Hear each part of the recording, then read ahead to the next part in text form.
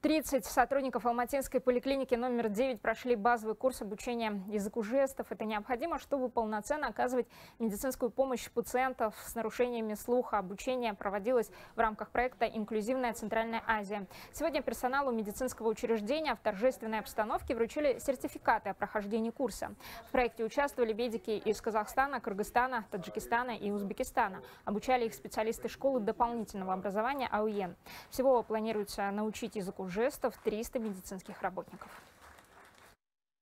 Наш коллектив с удовольствием откликнулся на приглашение и возможность участия в данном проекте. А, действительно, обучение позволило нам стать ближе к пациентам с проблемами слуха, на сегодняшний день в рамках проекта обучено 30 специалистов. Это врачи, медицинские сестры, а, социальные работники, регистраторы. И поэтому а, сегодня пациенты, обращающиеся в нашу поликлинику, начиная с регистратуры, могут встретить квалифицированного специалиста, который поможет им в общении по проблемам обращения в поликлинику.